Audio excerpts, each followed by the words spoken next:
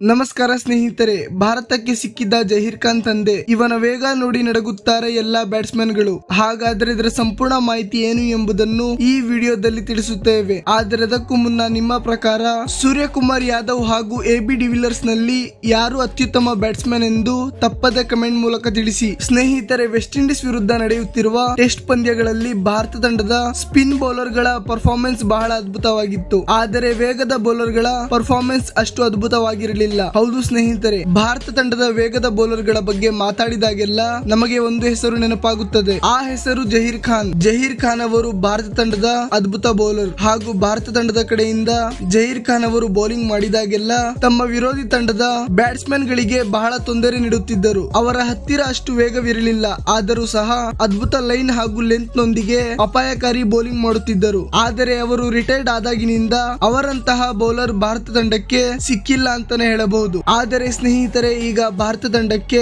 ಜಹೀರ್ ಖಾನ್ ಅವರ ಕೊರತೆಯನ್ನು ತುಂಬುವ ಒಬ್ಬ ಆಟಗಾರ ಸಿಕ್ಕಿದ್ದಾನೆ ಅಂತಾನೆ ಹೇಳಬಹುದು. ಹೌದು ಸ್ನೇಹಿತರೆ, ಈ ಆಟಗಾರನ ಬಗ್ಗೆ ಸ್ವತಃ ಸುರೇಶ್ ರೈನಾ ಅವರು ಕೂಡ ಹೊಗಳಿದ್ದಾರೆ. ಹೌದು ಸ್ನೇಹಿತರೆ, ಈ ಆಟಗಾರನ ಹೆಸರು ಮುಸ್ತಫಾ ಯೂಸುಫ್. ಹಾಗೂ ಈ ಆಟಗಾರನ ಬಗ್ಗೆ ಸುರೇಶ್ ರೈನಾ ಅವರು ಇಂಟರ್ವ್ಯೂ ನಲ್ಲಿ ಹೊಗಳುವ ಮೂಲಕ ನಾನು ಜಹೀರ್ ಖಾನ್ ಮತ್ತು ಮುಸ್ತಫಾ ಯೂಸುಫ್ ಇಬ್ಬರ ಬೌಲಿಂಗು ಆಡಿದ್ದೇನೆ. ಹಾಗೂ ಇಬ್ಬರಲ್ಲಿ ನನಗೆ ಯಾವುದೇ ರೀತಿಯ ಅಂತರ ಕಂಡು ಬಂದಿಲ್ಲ. ಹಾಗೂ ನನ್ನ ಪ್ರಕಾರ ಮುಂದಿನ ಬರುವ ದಿನಗಳಲ್ಲಿ ಮುಸ್ತಫಾ ಯೂಸುಫ್ ಒಬ್ಬ ಸ್ಟಾರ್ ಬೌಲರ್ ಆಗುವುದರಲ್ಲಿ ಯಾವುದೇ ರೀತಿಯ ಸಂದೇಹವಿಲ್ಲ ಎಂದು ಹೇಳಿದರು. ಸ್ನೇಹಿತರೆ, ಇದರ ಬಗ್ಗೆ ನಿಮ್ಮ ಅಭಿಪ್ರಾಯವೇನು? ತಪ್ಪದೆ ಕಮೆಂಟ್ ಮೂಲಕ ತಿಳಿಸಿ.